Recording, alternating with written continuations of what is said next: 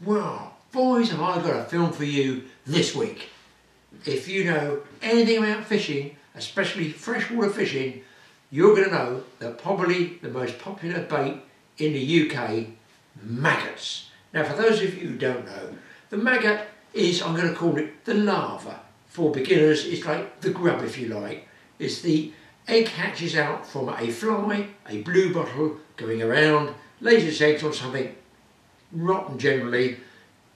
The eggs hatch out, they turn into maggots. From there, they go to a stage of eating everything and then they sort of pupate, I'm going to call it, into what's called a castor. Some people call it a chrysalis. And from there, it hatches into a fly and the whole process starts all over again. But when we go into a tackle shop and just purchase, can I have a pint of maggots or a pint of casters, you don't realise that from delivery from the um, actual maggot farm where they breed them commercially to the tackle shop, you just get a little bait container, small bait tin. There's a lot more work goes into it. So let's go over to Grant's Tackle Up and he's going to show you through what he does to give his anglers the best bait he can. So to learn a little bit more about the uh, the supply of bait that goes in your bait box when you come into a tackle shop, I'm here with Grant Tackle Up in Fleet. Grant's going to give you a run through, give you sort of, of a guide, a potted history, or a potted history of maggots, Grant. Hi Graeme, how I are want you? a, yeah, I, I want a potted history. He's preparing them now. Right, these just yellow maggot. Yeah. Just normally bronze, but now yellow. Bronzing we don't tend to do. So. Now, how do they come into you? Let's say the bait the bait man's just come. Just Am- come. The Amazon man's just come. Yeah. He's got some cardboard boxes with maggots in it. So He's got generally, fridges, yeah. what we do is that they all turn up. They come in a big pot like this, to be fair, sealed up. That's your, deli- they- that's your delivery That's my bucket. delivery pot. They will turn up in one of them, Yep. and then we tip them out into the trays, and they absolutely stink. It's ammonia, I imagine, is it? Yes. So, then what the process is, we've cleaned these ones already, is basically we take the old sawdust out to remove the grease and the dirt and just the stuff that comes on your maggot, because otherwise when you'd have it in your bait box, Yeah. it would be absolutely stinking. Yeah. So um, the, the ideal way to do this is basically, we run it down the shaker, which I'll show you how to do it. Good job I wasn't leaning on that. Off. Got Parkinson's. It's a nice fine official brush, which is very well worn. And extract the sawdust from the maggot as we tip it down. And we brush back on here just to hold the dust back, which falls through the riddle and goes down to the bottom in the shaker tray.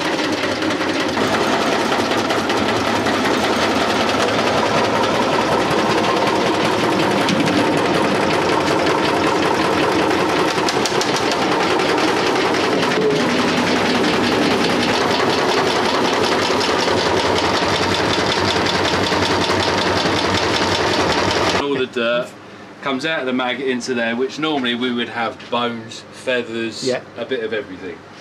And then the next process is it's literally we are removing all the grease off the maggots that comes with the fat that's on the chicken carcass, the fish carcass that they feed all the maggots in the pit. We put a riddle onto the tray. And then we pour some onto the riddle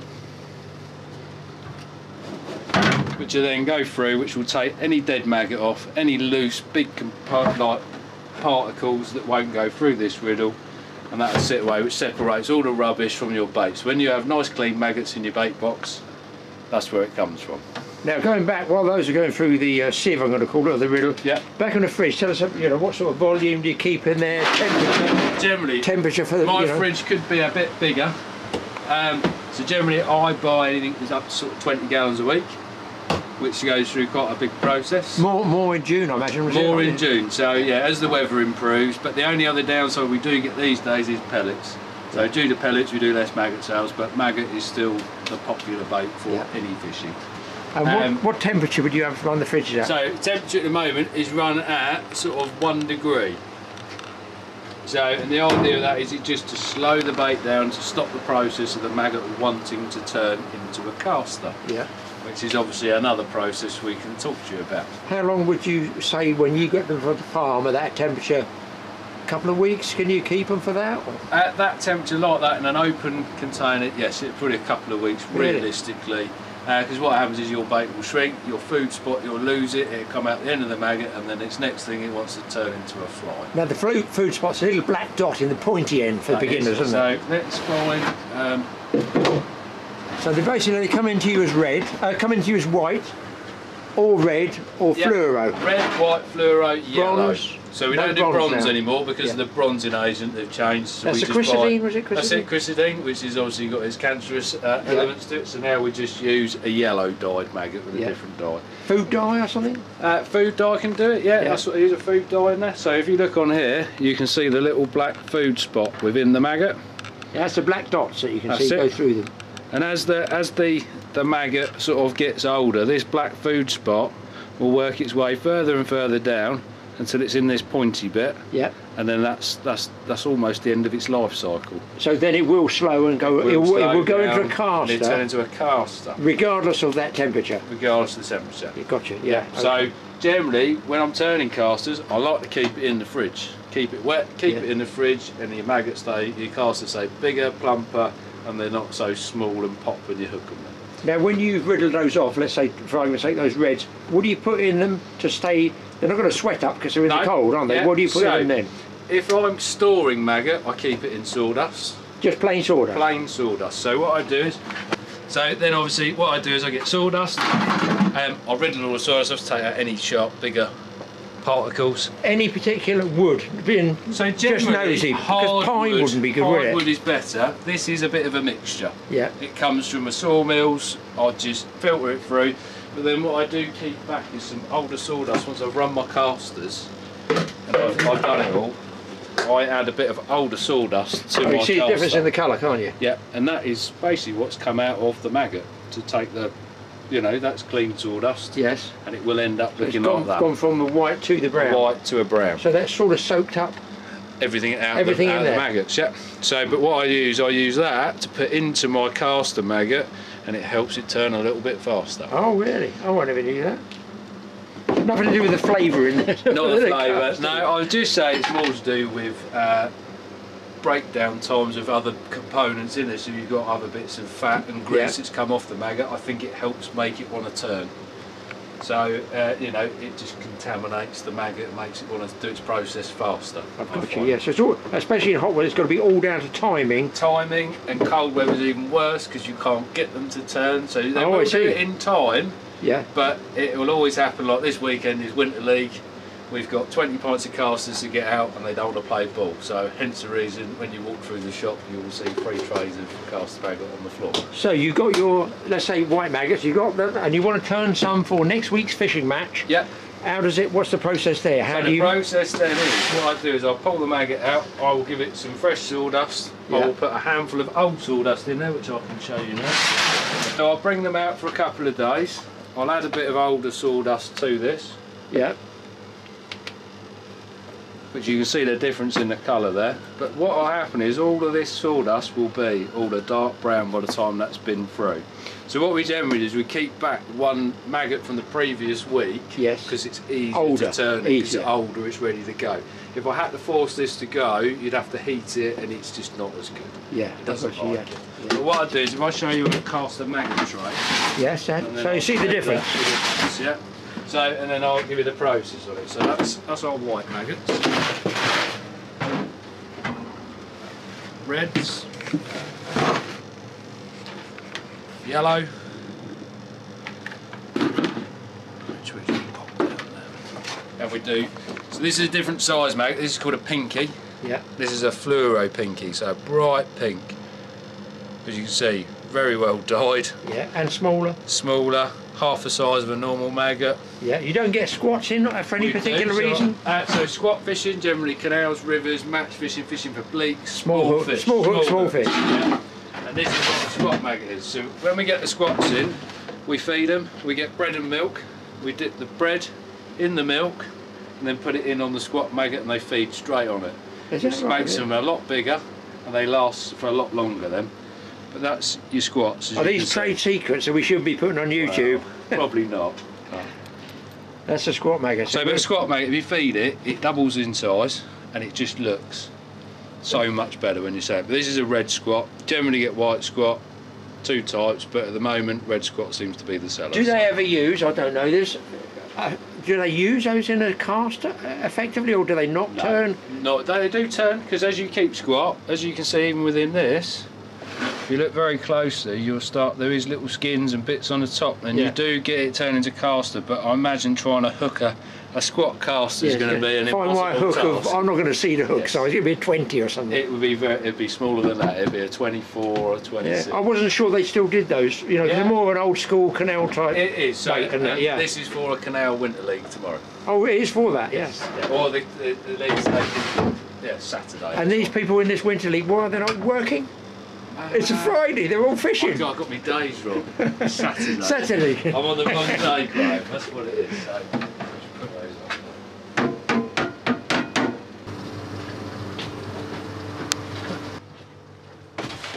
So this is your casters as, they, as they go to the customer.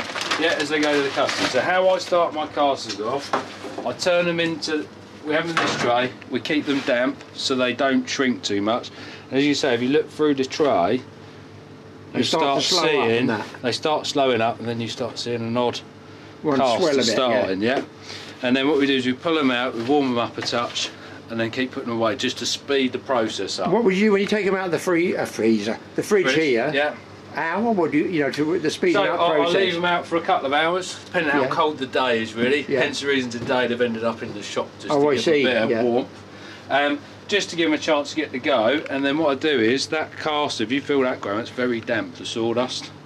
Oh yeah, it is. Yeah. Yeah, I'll I'll be terrified they're going to get wet. and creep out They like don't. they do. If you get it too wet, they do, but they've got to be the right. Basically, the idea is pour the water into the sawdust and mix it in. Yes. If you spray it over and get the sides wet, that's You're when away. the maggot comes out. and yes, I have done it. yes, it's, ha- it's happened. I imagine. So what we do then is we put some onto the riddle. You don't put too much, we've got to shake all the sawdust through.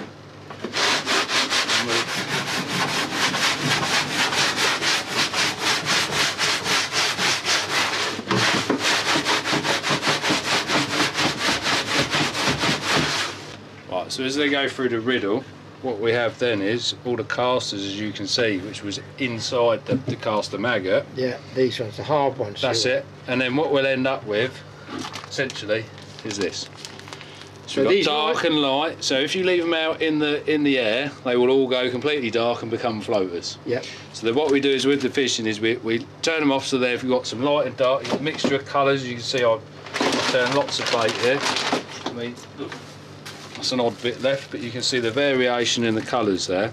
And then the idea is when the, the anglers get them, they can turn them to be a bit darker if they want Yeah. them golden brown or dark colours.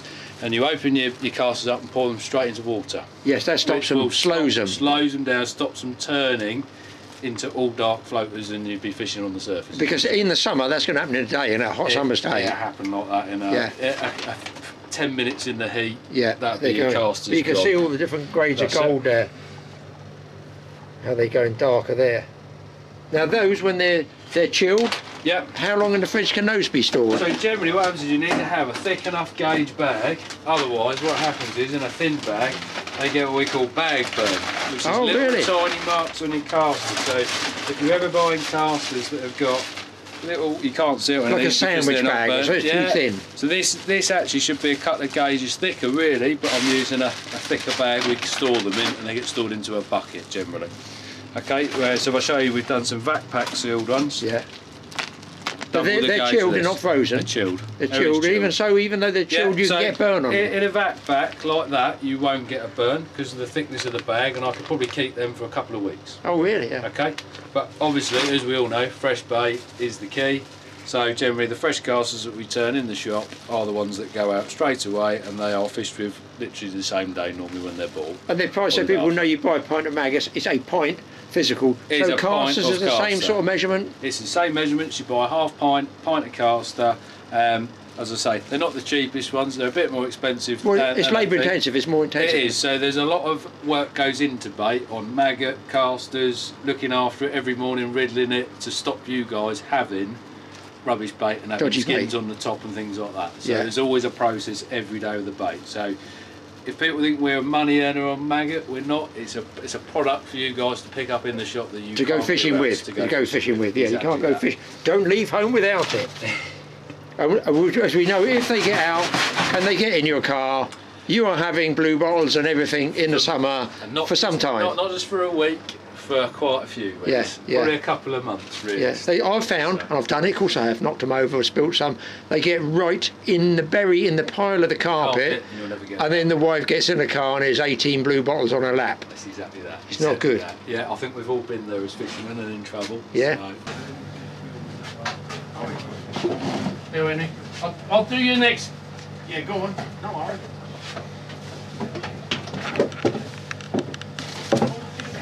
Uh, I'm just gonna just gonna fish for silvers. Hopefully I'll snare one or two.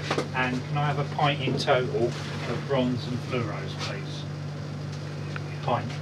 But then that's uh, years of experience, I suppose. Been doing it for Well, nearly 50 match years. fishing, yeah? Yeah.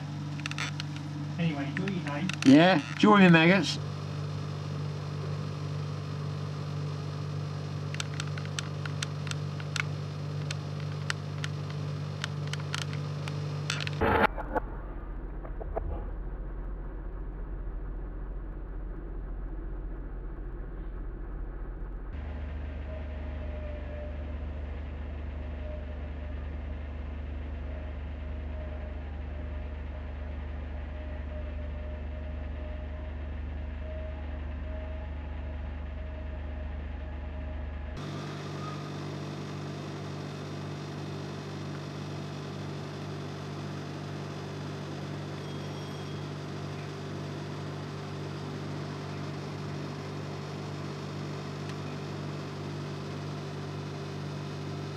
So, customer's bait box, scoop. We go to the fridge, and this is where I keep all my clean serving maggot that's already been prepared. And whether it be a half pint, pint,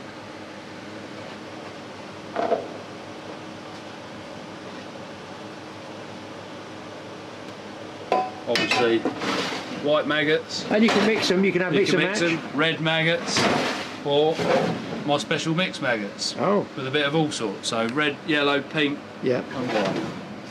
And then also another thing we do use to stop the maggots sweating up, we give the customer a choice because some people are allergic to maize, Oh, really? which they don't realise. Is that the they want- gluten, whatever it is, It or is something? indeed. So they I've end up getting that. their eyes streaming and stuff like that, which is normally maize based. So maize, if they want maize, we just put, add a bit of powder to the maggot, purely to stop it sweating up. And we take it around the box, and that will you won't have sweaty maggots anymore. If they don't want maize, If you what don't will want be? maize, the other alternative is we get the sawdust pot and we can give you, which is all sieved as well, so there's no big particles. And so if you don't like maize or you're allergic to maize, Yeah, but you're the tackle dealer, and you're also a fisherman. So, what's your favourite? my favourite is sawdust. Sawdust, yeah. But you will find match anglers prefer the maize, it softens the maggot, and when they're fishing, hand to line and quickly grabbing a bait, you, d- the maggot doesn't roll off your hand, it stays soft in the maize, and whereas obviously if you have it in sawdust, the maggot stays harder and more rubbery. So that can go in the angler's fridge, and depending, you know, what the weather system's like, you keep it for a week, two weeks. Week, two weeks, you're probably starting to turn into a few casters. But then it's still got bait. Still got bait. So if it's So in the fridge, you can always go. Lid on with that, and Lid on with that. and any tips on the lids? Having had Well, maggots the, in the the tip on the lid is make sure every corner is firmly clipped on the box. Yeah, because it only takes, so guys know, That's it. just takes that in the tackle box or the back of the car, and if that lid's, So if your lid is tilted ever so slightly yeah, and your maggots were there, it That's doesn't that's take very long. And then you don't know that. disappearing, and you will only find out when you either find your bait box or two weeks later you'll have a load of flies. And in, in the comments page, has any other angler ever lost maggots in the car? That's going to fill the comments page up. Fill it all up, I imagine. I've heard a few stories and I've done a few myself as well. Yeah. So yeah. Brilliant, thank you very much. Uh, so that's Grant, tackle up in Fleet. If you want some decent bait, you can uh, you know, get in touch with you. You got a Give us a website, on? Yeah, it's a website. Yeah, Yeah. so it's uh, yeah tackleupfleet.com. And you, Um, you, you can you can order the bait in advance, you know. Um, yeah, so phone calls for ordering bait in advance, really. So casters is normally important to get your orders in Yeah. because obviously with the match anglers they do get taken up quite quickly. So Yeah, and as you've seen, it's not a process. We just take them out of a bag and give them to you. We spend the time to actually turn a caster into a bait for you guys to fish. Brilliant. Thanks for that. I appreciate it, Grant. Thank you very much. And on behalf of all the beginners, hopefully they go fishing and at least try with maggots. Lovely. Well, that's some pretty interesting information, I think. Hopefully, a lot of beginners especially will know there's not just a maggot, there is a white, a yellow, a red, squats, pinkies, different types, different sizes, different species from different flies, and thereby you should have any excuse for not catching a fish on them. In fact, I know about maggots because I've been to a maggot farm. It's in one of my books because these are out of print. But I did do a lot of book writing. I had 16 books published, and this was one of them. Some of you guys out there will have it. And inside there, it's about my visit to the whole. I can smell it and almost taste it now. Maggot farm. I've got some pictures in here. I've got to try and zoom in with them, put them in there. They're my pictures, it's my book, it's my copyright, so I can use them. Um, it might be interesting for you. On top of what Grant said, some of the interesting facts. I've, I've got them down as bullet points. Let's run through these for you. Right, here's some of the facts I got. And it's in my book, it's here. So you might pick them up in a second-hand bookstore. Some of you guys will have them. They're just called Graeme Pullen Guide to Freshwater Fishing Baits. It's basic, you know it's basic, you know it works, it's in there. Very, very historic. And listen, oh my God, I think it is, well, published in 1988. I wrote it in 1986, something like that. So I wrote it before a lot of the people that do stuff now for books and magazines, I probably weren't even born then. But anyhow, the info in there is all good stuff. Here's some stuff, I'm going to read through it. I might drop some pictures up here or here or just totally uh, when I'm talking about them, right? Went to a bait company in Somerset. Now they told me the flies blow. The blow is like the egg laying process, okay, to start the actual hatching out, as it were, the bulk that they want to get the most bait they can to get it to Grant's Tackle Up, the shop. So these guys, big farm out in the Somerset countryside, that's where I went. The guy there told me the flies don't blow well in periods of low pressure. Also, the ammonia which they secrete produced from one concrete pit of, wait for this, one concrete pit holds 400 gallons of maggots that can travel over several fields. And they said the best time to, to grow and move the maggots on to get them in is a the best blow period are times of high pressure. Now I don't know about you guys, but I've noticed between high and low pressure with fishing, they're up and down like a yo-yo. Sometimes I think I've got it just right. No, I haven't. But I used to think predators feed better in high pressure. Cyprinids, that's the one for the pharyngeal throat teeth, coarse fish to you guys, feed better in low pressure. What do I know? Okay, the red maggots, this was back then, it's probably changed now, was produced by the red dye scattered on the chicken carcasses in the fish farm, this is. So when the maggots eat the rotten chicken, they eat the dye as well. They told me then, years ago it was the same dye as was used in sticks of Blackpool rock. I didn't know that myself till I read my own book. They say the maggots have to ingest that food, the dye, for the dye to take for about five days in these holding pits. Grant has 20 gallons of maggots. My God. In the peak first two months of the season, and in the UK, that will be June and July when most anglers get out in good weather. The traditional season was back then, opens up. This maggot farm produced up to a thousand gallons of maggots a week. Plus, they would turn, as you heard Grant talking about it, he turned those maggots into casters. 50 gallons of casters a week they could turn. In the height of the summer season, which is temperature controlled as you can gather, if it's warmer weather, we even know there's more flies around, don't we? You notice it yourself. Not in the winters, in the summer, they're out there. Try leaving a ham sandwich out in the sun you know, middle of July. Soon, bzzz, right in the height of the summer season, they can get through 16 tons of dead battery chickens, which is what the maggots eat. The fly egg laying process is improved dramatically when they're fed a blow. They lay their eggs on the, what they call the blow on old pouting. That's a sea fish. Now, us sea fishermen know, because listen, I'm an all-round angler, done it all my life, so I know all about both species, freshwater and sea. But pouting goes off really quickly. So if you beach fishing or boat fishing and you want to keep pouting, get the guts out of them straight away and put them in the chiller or take your fillets off. They make very good fish pies and fish cakes out of pouting. But because they deteriorate quickly, I feel that's why the flies love laying their eggs on pouting because they want rotten feed for their young, their eggs to hatch out and get straight on the feed. That's my uh, take on it. They said their success rate when they use pouting rises to 90% from a blow. So, way better than chicken. Okay, three species of fly make up the fishing maggot. The largest comes from the blue bottle, which you hear buzzing around like a, a Spitfire firing on three cylinders. The pinkies come from the green bottle, that's a smaller fly. And the very small ones that Grant was showing us called squats, make the tiny ones, come from the common housefly.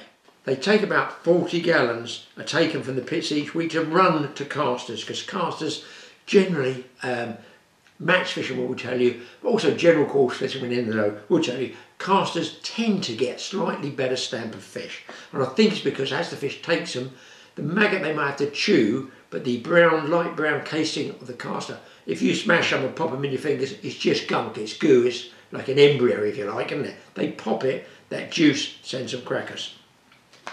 They said in summer it can take sometimes two weeks for the casters to hatch into a fly.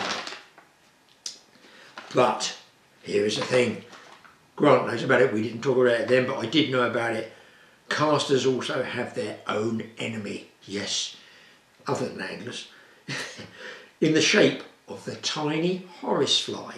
It lays its egg inside so that when the maggots are there, their own eggs hatch out inside the maggot or caster, eat their way through the inside of the caster.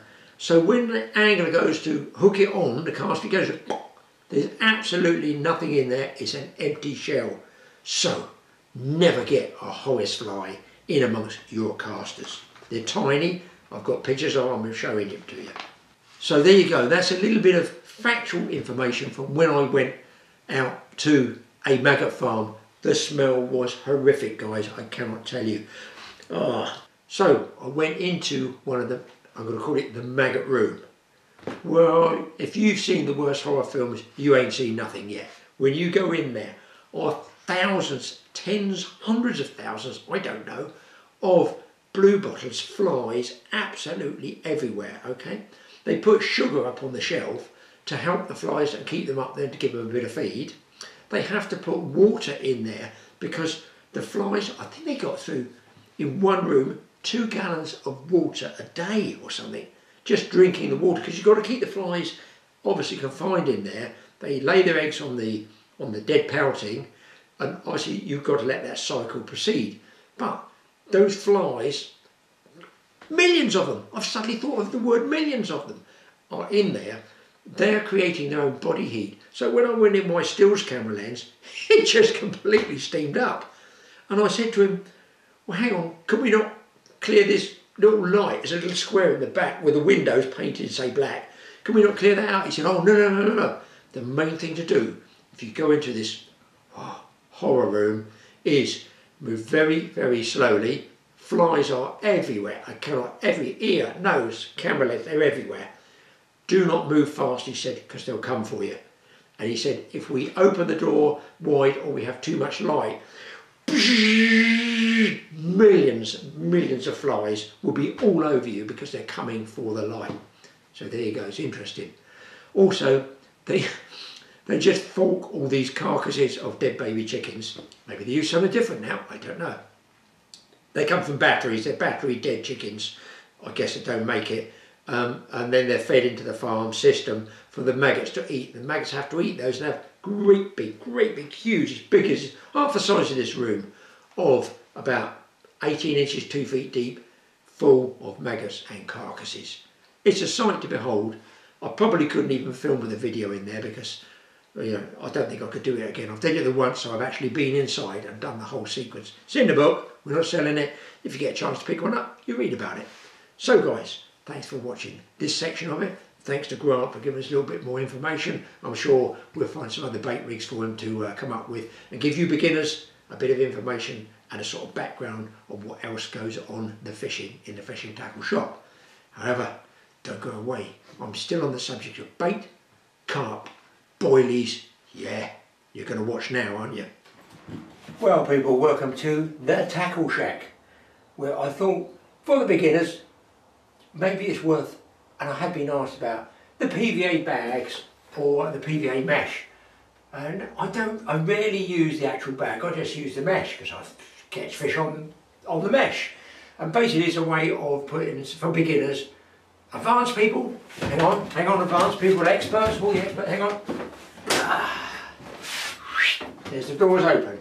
This is for beginners, it's all interested in having lots of fishing, trying to help people get a few more fish on the end of their line.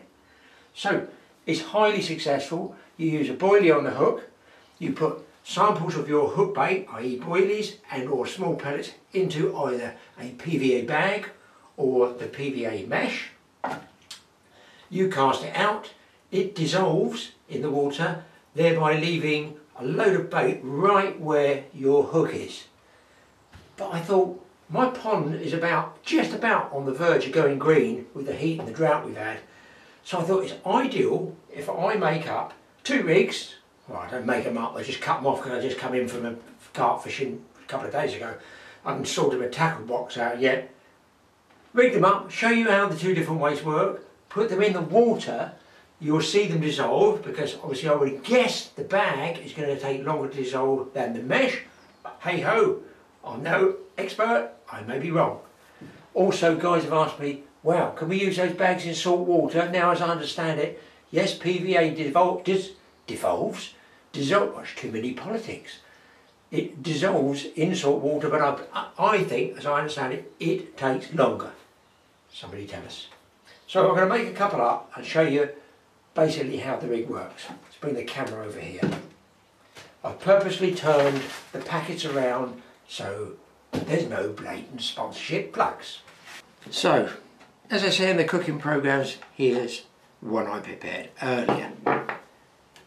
I'll put it on like 25 pound mono so that you can see when it's underwater um, what it looks like.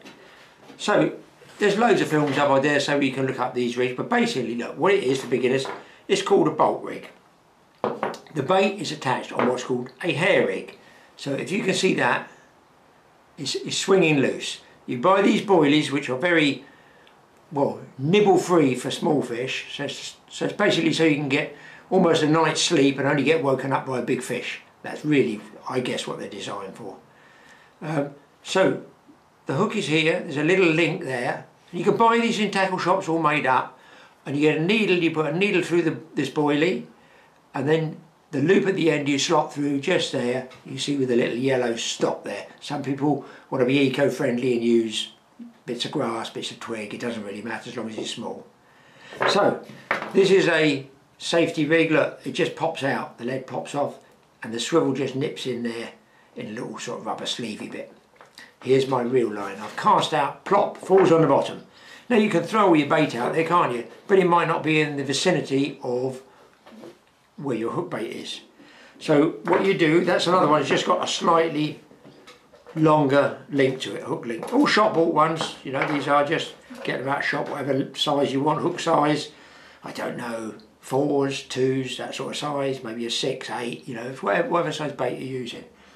So you get different size bags. These ones here, carefully shielding the name, haven't done me any favours.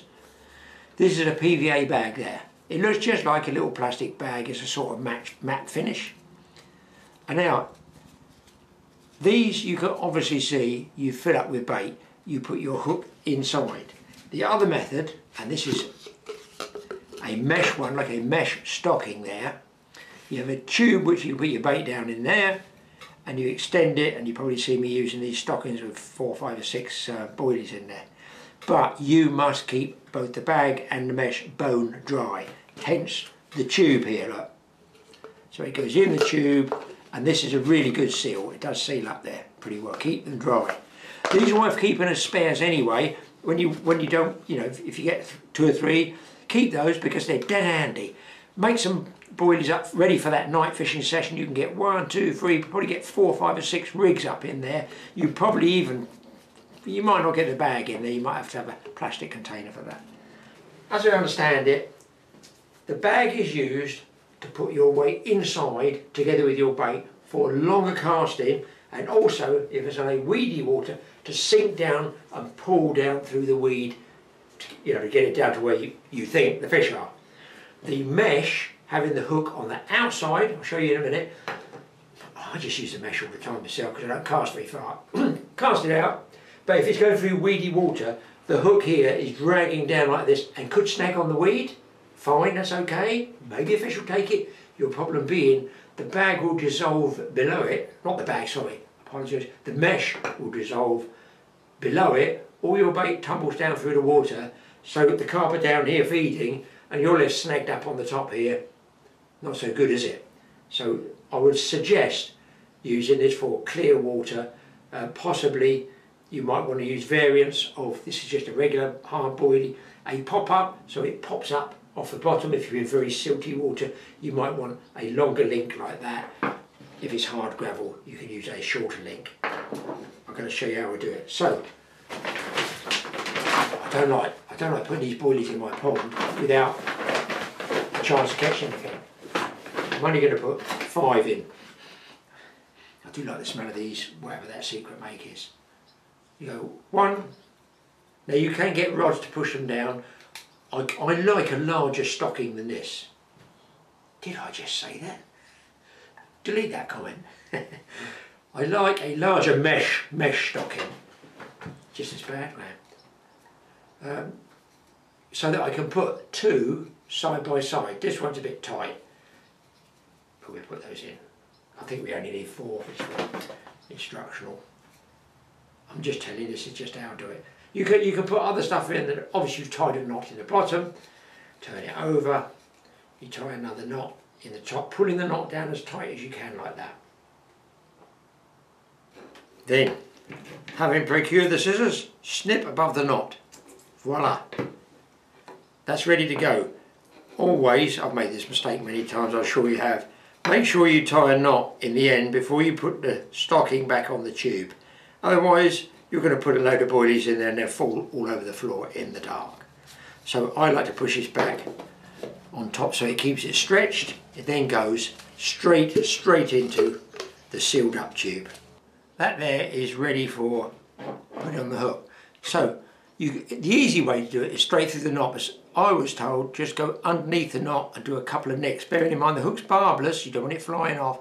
So just go through the mesh, mesh say twice, so there's my rig, if you can see it like that.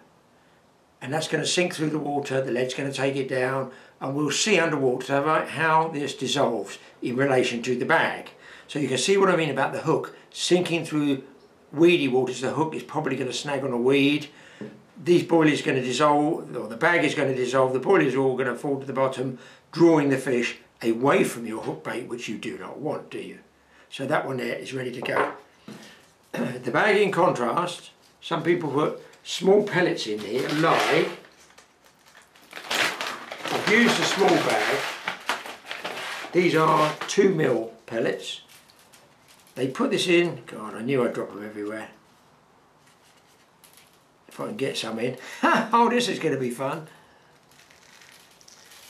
Then they put say that, I know I'm using a long one, I would generally use a short one. They put their hook bait in the bag, coil it all up, drop it in there okay so the weight is near the bottom. Just tap it like this just to get the weight in amongst it. You want it nice and looped there. And then pop in let's say your a few of your hook bait samples. One no. One two three. Very good counting. Five. See who picks up on that. Okay, now I'm going to have to do this quickly. What you do is you twist, lick this, or get your fingers in a little bit, or twist it because that will start to dissolve it, and it will start to stick. Tap it all down tight, bed it, bed it, bed it in like that. It's for distance casting. And some people also damp or spit on these corners and just push them in and make it a nice packet, package there for casting out. I'm going to do that down by the pond because as soon as I've done the lick and stick business, I want to be able to put it in the water. So let's get down and see if we can't get these underwater and just see how quickly they do dissolve. So I'm just going to lick and twist this tight and put them both into the water at the same time. So bear with me. Just twist it up like that. Couple of dabs on the corners. And you can see that's melted and dissolved. Let's get them straight in the water.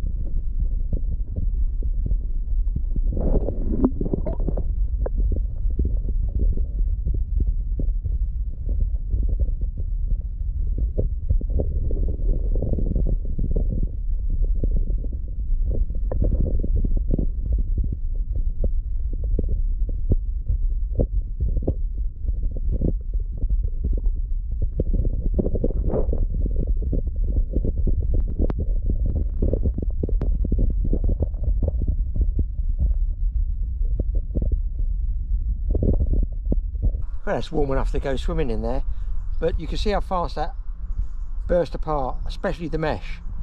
But I'm going to take those two rigs out of there now because I want to see what the breakdown is on those boilies. You got the principle of how it works. You can see how it works. You use mesh, or you can use the bag. What I did find interesting was the way that using the two mil uh, extra pellets, they went over the top and they tumbled down and landed right on the lead. Now, if you're clear water fishing, it doesn't matter at night, what can they see? Who knows? But during the day, they might see that lead on the hard fish water. So maybe adding a few two mils in there in the bag helps it all tumble down. Of course, you can use the same principle on the uh, uh, mesh bag, but the lead is nearly always away from the mesh bag when it lands. So that way, with the actual solid bag, you're going straight down in one big clump it might work in your advantage during daylight. It covers up the lead. That's what I'm just saying. I'm no expert. I just catch them. You know, I go fishing, I catch some carp. I'm going to take those rigs out of the water now and uh, I'm going to try and time that and come back tomorrow and see how they've degraded in the water. Bear in mind, there's no fish in here. There might be some creatures that come in, I don't know. But I thought it gives you an idea how that bolt rig works and it's highly, highly successful for carp. Dead easy for beginners. How easy is that? The fish hook themselves. Brilliant.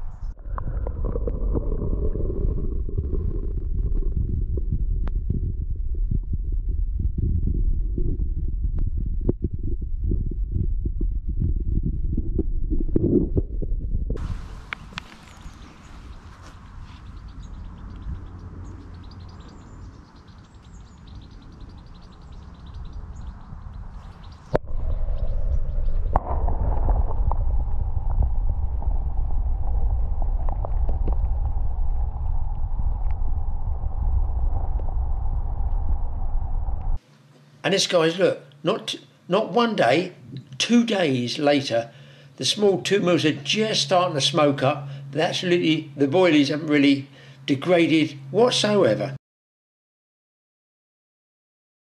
Next day I go out, third day, third day, still there. Small pellets breaking up a bit, boilies zero.